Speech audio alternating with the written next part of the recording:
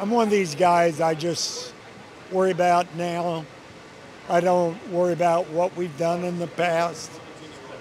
I don't worry, don't, I just try to prepare them so they can be the fastest they can be and whatever comes after that. I've just been doing this a long time. I love it. I love the people.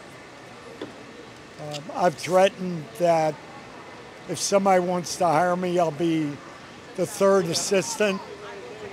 I'd really like not to go travel to dual meets, like stay home with everybody that stays home.